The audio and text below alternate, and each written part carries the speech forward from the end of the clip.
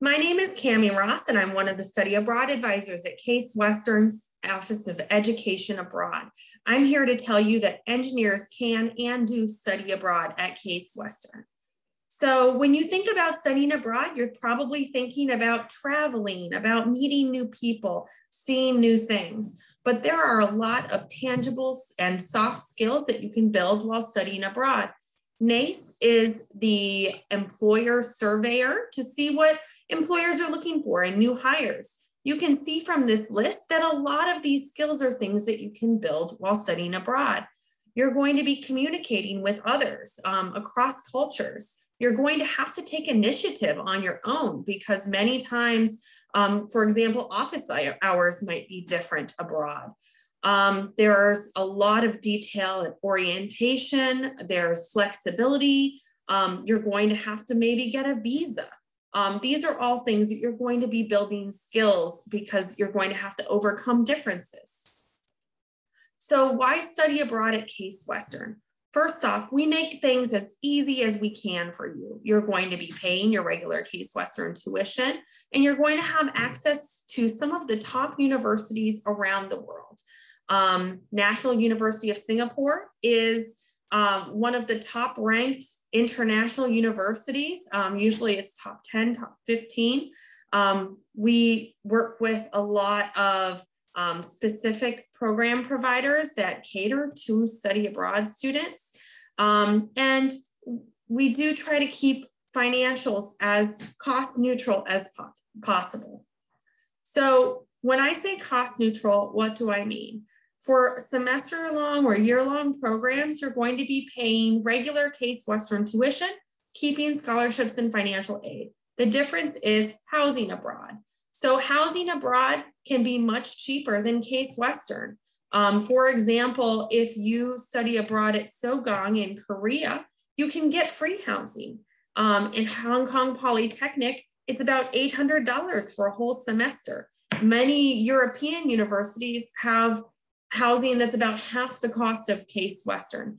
And so it truly is an opportunity for you to save money, and that helps you buy your flight and travel and pay for additional living expenses. So that's why we say cost neutral. In addition to cost neutrality, we have a lot of scholarships. So not only does Case Western have many, but there are many national scholarships that we support.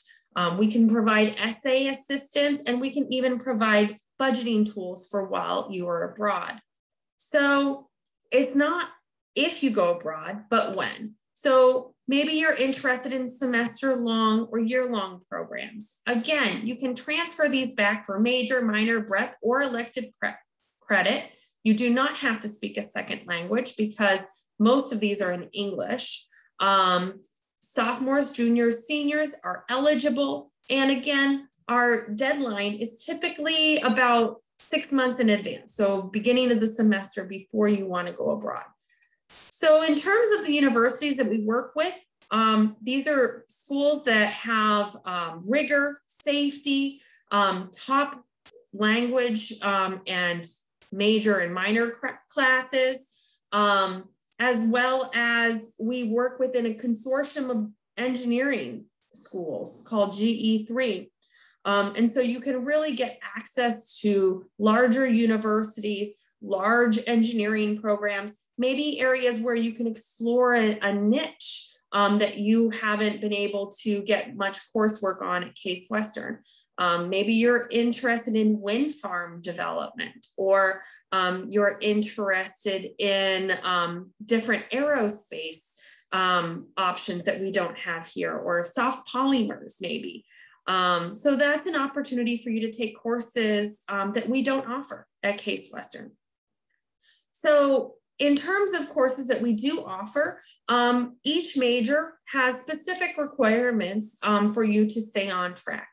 BME has actually gone through many of our program providers and helped cultivate a list to show what schools you can actually go to and stay on track for BME. ChemE has done the same thing. In fact, they've gotten two schools where they actually even lined up the classes, you can see what you need to take when and how it all fits in. These are all pre-approved programs with these two universities. Even beyond that, there are so many options. Aerospace engineering. Um, there's a huge program at Delft University in the Netherlands. Civil and environmental engineering. Maybe you want to go to Singapore for that because they have some really interesting um, structure classes um, that you can take there.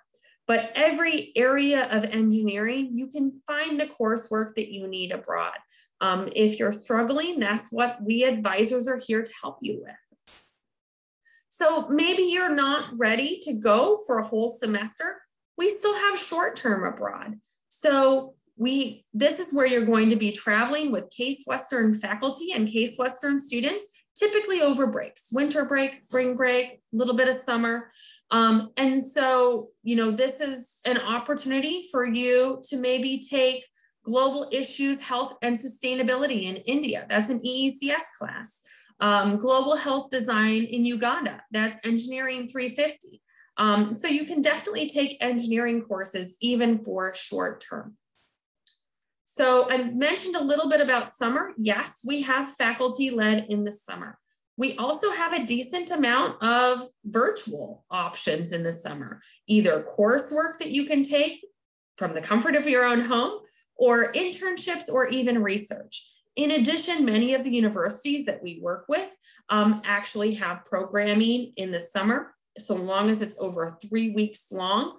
Um, you can take even engineering coursework. We have a program with Shanghai Jiaotong in Shanghai um, where you're, you can take classes like thermodynamics, for example. Um, also MUAS in Munich. Um, they have some really interesting courses on engineering and sustainability that you can do over the summer. So there are some special considerations too. Um, you know, when are you going to go abroad? A lot of that has to do with how your major is lining up with what classes you've been taking. Um, but there also are additional opportunities. So maybe you can do research abroad. We work with Euro Scholars in Arcadia, where you can actually go through a menu of projects that you can sign up for and get credit for while abroad. Um, often it can actually apply for co-op. But there also are additional options like DAAD. It's a German exchange over the summer where you can get paid for research at German universities. Um, Taiwan has some really interesting engineering internship summer pro programs. And um, the Weizmann Institute in Israel has a STEM research opportunity where you get a stipend, and there are additional scholarships available for that too to help offset even whatever costs you have. Um, so, internships and service learning, definitely think about those opportunities while abroad. So, how do you study abroad? First, I really recommend setting up an appointment with an advisor. Every major, every person is a little different. Um, and so we can really help you navigate what your next steps are um, and see where, what options you have.